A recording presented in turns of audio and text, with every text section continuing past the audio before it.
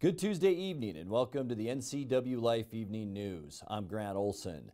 Before we get to today's top news stories, let's take a quick look outside our weather window and what a gorgeous shot from our cross camera. And look at the quality of this shot from our Sky-Fi Tower camera. Beautiful, beautiful late summer day all across north central Washington today.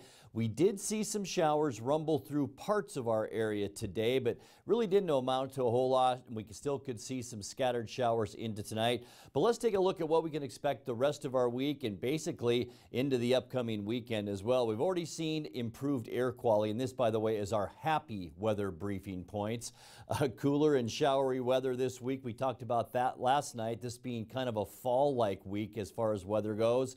And we will see good conditions for containing some of our area fires with higher humidities, not much wind, although we did see some today, and uh, some rain showers in our forecast. And we'll talk about all of that coming up a little bit later on in your weather forecast. And now a few of the stories we're following for you tonight. A GoFundMe page has been set up to assist the Kennewick man who was badly injured last week when his truck crashed on McNeil Canyon Road. And the lone survivor of the deadly Twisp River fire in 2015 talks about how his boots and proper gear saved him from dying that day. But first we begin tonight Nearly 400 people gathered in Cashmere today at the site of the 9-11 Spirit of America Memorial.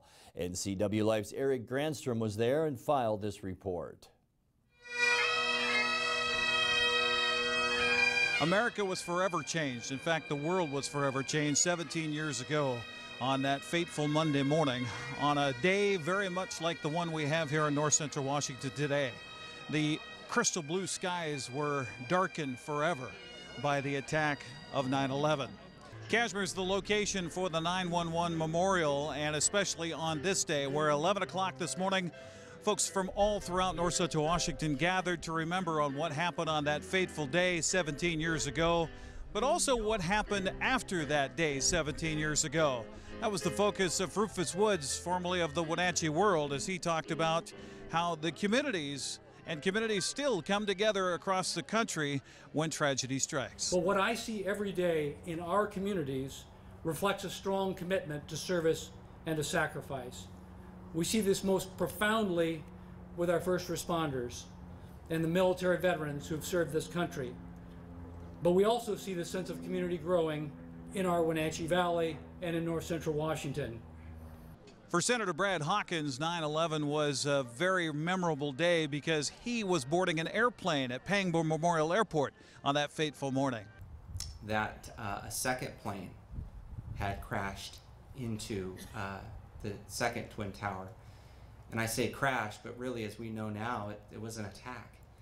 And um, it really, the whole plane was really taken aback by that. And the, the Pilot followed the announcement by stating that the FAA had suspended air travel all across the United States and we wouldn't be taking that Horizon flight to Seattle, that we would be deboarding the plane. The 9 11 Memorial Committee Chairman Tom Green talked about the next phase of what will happen here at this memorial in Cashmere. But they have loaned us a stone from the field of Flight 93 where the aircraft went down. We received the stone about a month ago in a box, and I asked the board, I said, what do you we do? And they said, keep it in the box for an appropriate time. I thought, well, this would be a cool place to open the box. And we said, no, we have not built phase two yet. So you know, phase two is, uh, is coming up. So it's exciting. We will end up having something from each of the major sites of 9-11 when we get done and hopefully dedicate uh, that next year.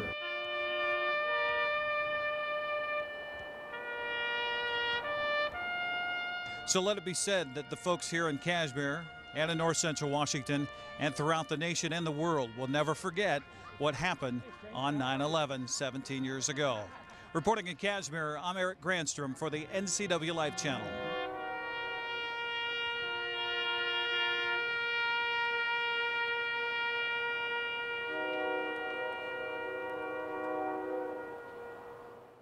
And if you couldn't make it to that ceremony in Cashmere today, you're in luck. We will run the memorial ceremony in its entirety tonight at 11 o'clock right here on the NCW Life channel.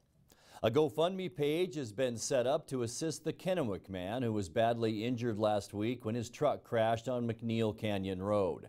Dwayne Philp was trapped in the wreckage of his truck for over three hours while a team of 26 first responders extricated him from the cab. Philp was carrying a load of fruit when the crash happened. He was admitted from, or airlifted rather, from McNeil Canyon to Central Washington Hospital with critical injuries. Philp was the family's sole income provider and they're now facing huge medical bills. The Philp family has three children and an 18-year-old who is about to leave for college. All proceeds raised through, raised through the GoFundMe page will help the Philp family pay for medical bills and living expenses. Daniel Lyons, survivor of the 2015 Twisp River fire, has fully recovered from the burns suffered when he and three of his crew members were trapped in a firestorm. He was the lone survivor of that tragic accident. In this Facebook post, Daniel shows the boots he wore that day and shares how effective they were in protecting his feet from being severely burned. Daniel said in his post, quote, For those of you who are firefighters, take my advice and always wear proper gear. One day it might just save you. These boots were the difference between my feet being burned off or not being burned at all, unquote. Those who were killed were Richard Wheeler, Andrew Zajac, and Tom Zbyszewski. All four were riding in a fire engine that crashed after they were uh, blinded by smoke when the fire exploded due to a wind shift. Well, coming up next, a major bridge replacement project is prepared to start soon in Cashmere. Beginning yesterday, a coalition of state and federal agencies with support from local tribes will begin translocating mountain goats from Olympic National Park to the North Cascades Mountains. A heads up for you folks in the Peshastin and Chelan areas, two road projects to tell you about that will completely close two streets in your towns. And the Wenatchee School Board is slated to discuss the search for a new superintendent when it meets in regular session tonight. I'm Grant Olson, and you're watching the NCW Life Evening News.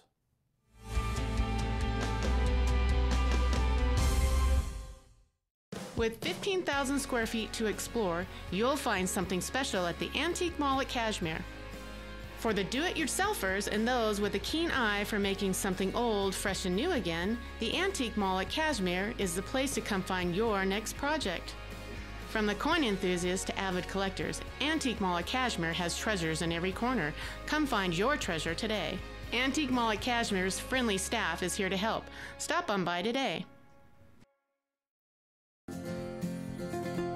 At Local Myth Pizza, we believe in real food, freshly prepared with only premium ingredients. Our cheeses are imported from Italy. Our sauces, dressings, and even our sausages are made in house fresh daily featuring Northwest craft beers and 30 Chelan Valley wines and ciders. Family fun and amazing food.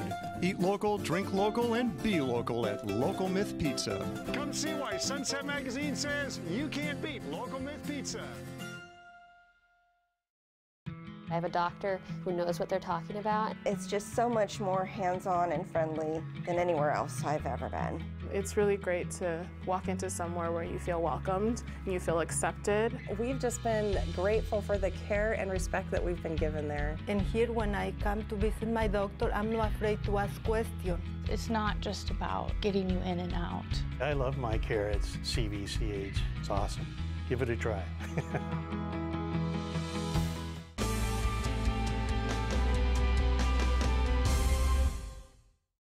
Welcome back. In another news, a major bridge replacement project is prepared to start soon in Cashmere. The West Cashmere Bridge is being replaced with a newly designed span over the Wenatchee River. The old bridge was deemed by the State Department of Transportation as structurally deficient. You can learn more about the project next Tuesday at the Cashmere Riverside Center. The project consultant and officials with Chelan County Public Works will be on hand to answer any questions. Well, beginning yesterday, a coalition of state and federal agencies with support from local tribes will begin translocating mountain goats from Olympic National Park to the Northern Cascade Mountains to meet wildlife management goals in both those areas. This effort to translocate mountain goats from the Olympic Peninsula is a partnership between the National Park Service, the Washington Department of Fish and Wildlife, and the U.S. Forest Service to reestablish and assist in connecting depleted population of mountain goats in the Washington Cascades. This month's two-week effort to move mountain goats to native habitat in the northern Cascades is the first translocation operation since the release of the final mountain goat management plan. Two additional two-week periods are planned for next year. Mountain goats were first introduced to the Olympics back in the 1920s. Fish and Wildlife plans to release the mountain goats at five selected sites in the Cascades this month, including Tower Peak in the Methow area of the Wenatchee Okanogan National Forest. Well, a heads up for you folks in the Peshastin and Chelan areas. Two road projects to tell you about that will completely close two streets. School Street in Peshastin closed yesterday for road improvements related to the renovation and expansion project at Peshastin Dryden Elementary School. The roadway will be closed from Main Street to Jeffries Street. The roadway is open to local traffic only. That street closure will continue until October 31st. And beginning today, Wilmorth Drive is also closed. That's in Chelan. The closure is expected to last up to three weeks for a City of Chelan waterline expansion project. The roadway is open to local traffic only. Motorists are advised to avoid the work zone so crews can work safely. Well, the Wenatchee School Board is slated to discuss the search for a new superintendent when it meets in regular session tonight. The board will review and discuss proposals from several search consulting firms. A motion is expected to be made tonight to select the finalists to be interviewed on September 17th. Brian Flones announced earlier this year that he plans to retire at the end of the 2019 school year. Tonight's meeting starts at 6 p.m. at the district's headquarters. You're watching the NCW Life Evening News. Coming up next, your sports update with Eric Granstrom and our feature story tonight. That and much more still to come on the NCW Life Evening News. Stay with us.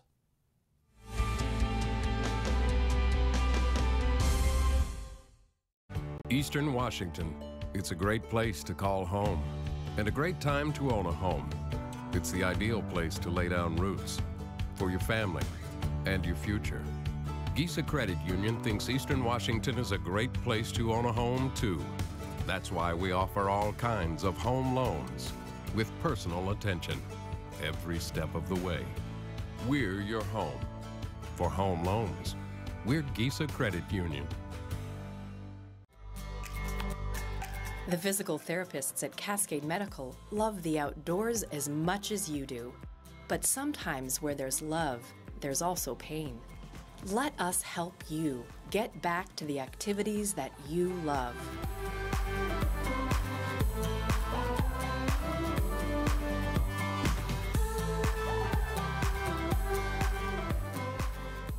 Cascade Medical, partners in your health. Choose the pros, Alignment Pros. When your vehicle needs brakes, shocks, struts, or alignment, choose the experts in their field. Alignment Pros and Express Lube with a 5-star rating. The work they perform on your vehicle is as impeccable as their shop. With state-of-the-art equipment, Alignment Pros can handle all large or small vehicles, specialty cars, lifted or lowered. Alignment Pros does them all. Keep your car in top shape at Alignment Pros and Express Lube in East Wenatchee. A sports update on the NCW Life channel. And a happy Tuesday. Dan, by the way, thanks for filling in yesterday. Coming up on the prep schedule for today, first of all, in girls soccer, Manson traveling to Lake Roosevelt. Cashmere is hosting Ephrata. Cascade, meanwhile, is hosting Selah. Eastmont on the road in Yakima to take on West Valley tonight at 7 o'clock. And on the NCW Life channel live tonight, pregame at 650. Wenatchee hosts Sunnyside to leave off to a field of the Apple Bowl. Sebastian Moraga and Matt Wisen will have your play-by-play. -play. First soccer match of the season. We were supposed to have one last Thursday, but it got smoked out. Be sure to watch it live tonight here on the NCW Life channel. On the volleyball courts tonight, Brewster plays at Chelan. Pateros is hosting Manson. Bridgeport heads for the Plateau to take on Waterville Mansfield.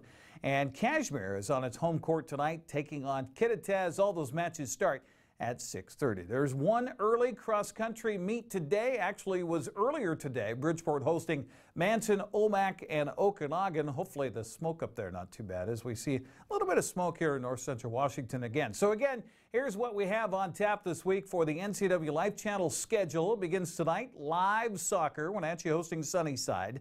Then on Thursday, more live soccer. Eastmont plays host to uh, Eisenhower. That'll be at 7 o'clock on Thursday night. Then on Friday, Hall of Fame night for Eastmont as they'll take on Ellensburg and non-league football at 7. I'll be alongside Mickey White with your play-by-play. We'll feature the class of 2018 Hall of Fame induction ceremony coming up at halftime. That's this Friday night. We'll step back in time over the weekend as we'll feature some games from last fall here on the NCW Life Channel. First, it's Davis and Wenatchee Volleyball at 2 o'clock Saturday, followed by Eisenhower and Eastmont Football at 7. Then on Sunday, West Valley and Eastmont soccer at 2 o'clock, and Wenatchee and Moses Lake football rounding out the weekend schedule that starts 7 o'clock on Sunday night. Well, the Mariners have had their postseason hopes all but dashed with Oakland's hot play and Seattle's less than stellar play as Seattle uh, has uh, slid into a tie with Tampa Bay, seven and a half games behind the A's for the final wild card spot in the American League. So all the Mariners can do is focus on who's in front of them, and that would be the San Diego Padres tonight for the first two games at Safeco Field. Bryan Mitchell will take the ball for San Diego while Marco Gonzales makes his return from the disabled list with a neck strain. Gonzales trying to right his own ship after going 0-4 in August with a 10.35 ERA for the month before going on the DL. First pitch tonight coming up at 7:10. There are a couple of games in the American League West from last night as we turn to the Les Schwab scoreboard. Justin Verlander turned in a vintage performance against his former team, and Detroit striking out 10 over 7 innings as the Astros edged the Tigers 3 2. Houston's lead in the West remains three games over Oakland. Meanwhile, Mike Minor allowed one run in six innings, and Joey Gallo went two for three and drove in three to help the Rangers beat the Angels by a final of 5 to 2. And add injury to insult for Seahawks fans with news that Doug Baldwin's knee injury is worse than thought. Ouch. According to ESPN's Adam Schefter, Baldwin suffered a grade 2 partial tear of his MCL in his right knee in Sunday's loss at Denver. According to experts, that's a recovery that would take up to four weeks. Baldwin has missed only two games his entire eight year Seahawks career and has played 89 consecutive games. That's the fourth longest active streak for any receiver in the NFL. Looks like the streak will come to an end Monday at Chicago against the Bears. That's a look at sports news. I'm Eric Granstrom as we keep a sports vein here and head to our feature of the day. Various sports underway in north central Washington, of course. In tonight's feature story, we bring you a promotional video from Wenatchee Valley College on how the men and women of the athletic program practice, push, and succeed. Life is a series of choices. Do you hit snooze or the gym? Do you stay out or stay late? I didn't get here by accident. I got here with commitment, sweat, sacrifice, and some tears. I'm here because I do what others won't. I work, I push. My future will not be handed to me. It will be earned. The path to my success is mine to create, and I will pave it with vision and ambition.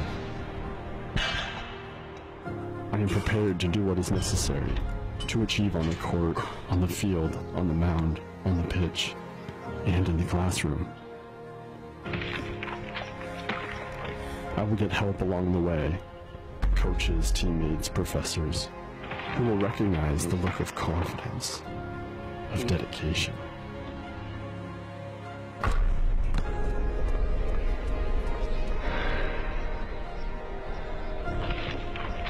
I will surround myself with others like me who will push me to strive, to be and achieve more. This will be my team.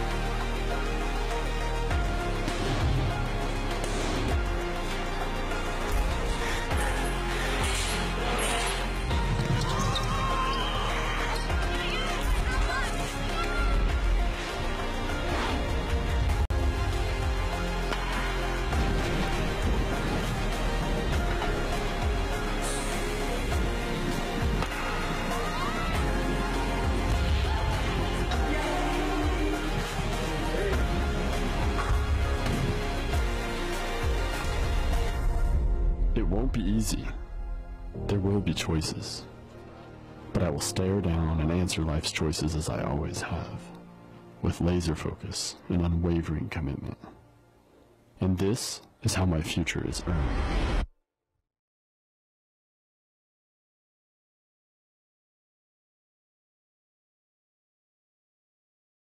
Well, there you go. Great programs there at Wenatchee Valley College. You have uh, men's and women's soccer, uh, volleyball on the women's side, men's and women's basketball. And then in the spring, you've got baseball and softball. Go to wvc.edu for more information. If you want to follow what's happening with their sports teams, go to nwac.org and follow along there. We'll come back with a recap of your top stories, and Grant will have your complete weather forecast. That's coming up next on the NCW Life Evening News.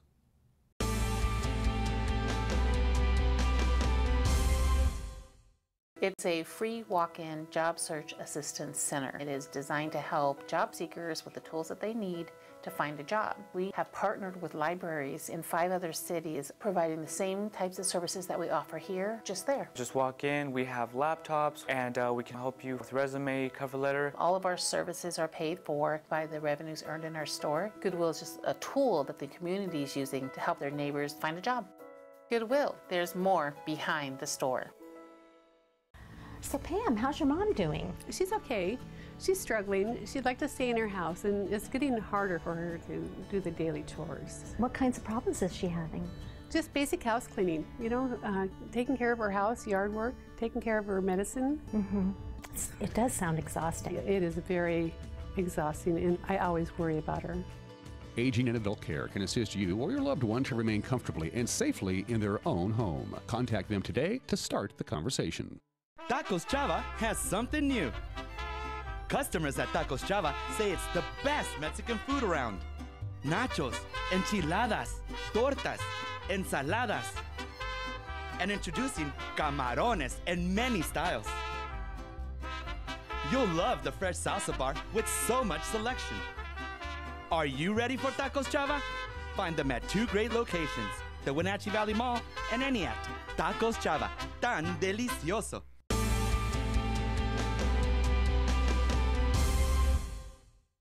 Welcome back to the NCW Life Evening News. A major, a major bridge replacement project is prepared to start soon in Cashmere. The West Cashmere Bridge is being replaced with a newly designed span over the Wenatchee River. The old bridge was deemed by the State Department of Transportation as structurally deficient. You can learn more about the project next Tuesday, September 18th at the Cashmere Riverside Center. The project consultant and officials with Chelan County Public Works will be on hand to answer any questions. Well, a heads up for you folks in the Peshastin and Chelan areas. Two road projects to tell you about that will completely close two streets. School Street in Peshastin closed yesterday for road improvements related to the renovation and expansion project at Peshastin Dryden Elementary School. The roadway will be closed from Main Street to Jeffries Street. The road is open to local traffic only. That street closure will continue until October 31st. Beginning today, Wilmore Drive in Chelan is also closed. The closure is expected to last up to three weeks for a City of Chelan waterline expansion project. The roadway is open to local traffic only. Motorists are advised to avoid that work zone so crews can work safely.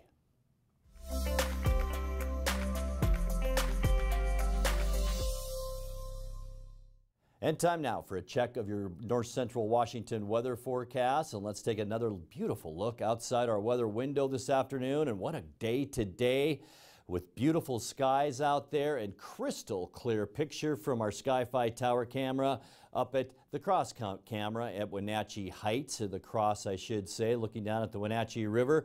Here's how things shaped up for today. We did see a high temperature so far today of 71 degrees. Low temperature this morning was 59. Normally we're at 79 and 54, so slightly below normal today. Record high was a hot one, 94 back in 1973. Our record cold overnight low was back in 1983 at 44 degrees. 4.4 inches of precipitation so far this year. Sunrise this morning was at 638 and will set tonight at 790. 19. As we take a look at our surface loop and tell you what's going to happen over the next five days, beginning to uh, tonight, we did see some showers, as I mentioned this afternoon. There will be some lingering showers tonight, but they should end a little bit later on. Some for some of you folks that are experiencing that right now. As we move into Wednesday, we'll see cool temperatures, a 20% chance of showers, maybe even a thunderstorm on Wednesday. So keep your eye on the sky for any lightning. Hopefully, we don't see that.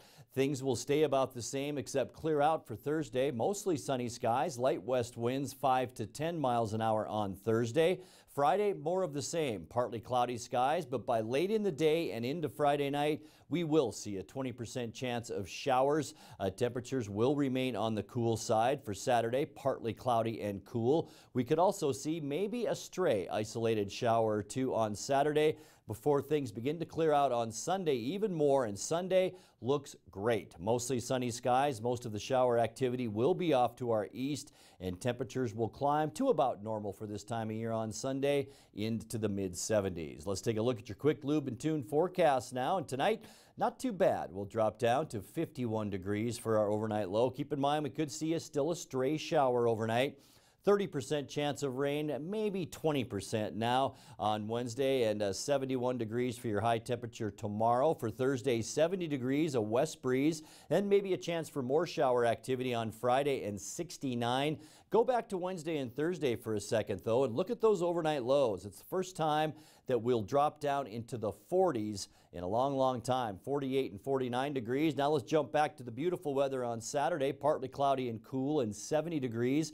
Up to 74 on Sunday as we end our weekend. And a beautiful start to our next work week on Monday with sunny skies and highs then around 76 degrees. And that's going to do it for our newscast tonight. For more on these stories and other news from around north central Washington, you can find us on Facebook or our website at ncwlife.com. And remember, if you see news happening, we'd like to hear from you. You can send us an email at news at ncwlife.com or give us a call at 888 6295. Also, keep it right here on the NCW Life channel tomorrow morning for Wake Up Wenatchee Valley with host Dan Kuntz and news with Steve Hare. I'm Grant Olson. Thanks for joining us and have a great night.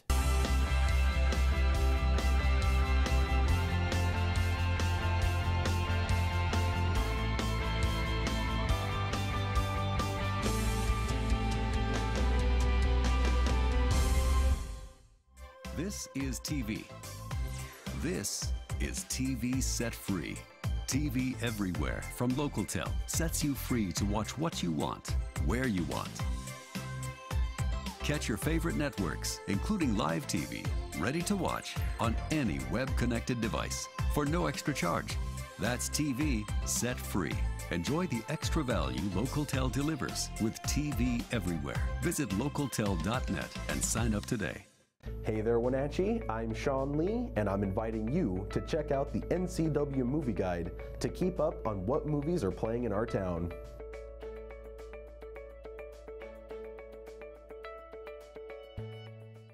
Looking for a hands on, high demand job? Now is the perfect time to get trained for a career in manufacturing. Washington currently has a shortage of skilled tradespeople, and retirements are making room for more. The machining program at Wenatchee Valley College is designed to give students the foundation to excel in this precision industry. Don't wait, there are only 15 spots left. A two year degree and a one year certificate are available. Learn more at wvc.edu/slash machining. Lake Chelan Mailboxes is a small place with a lot to offer. Job one is shipping and receiving from A to Z. They pack it, they label it, they ship it. But did you know we also offer notary service, online computer access, legal forms, copies, greeting cards, and of course, mailboxes. Schland Mailboxes, everything you need in one small package.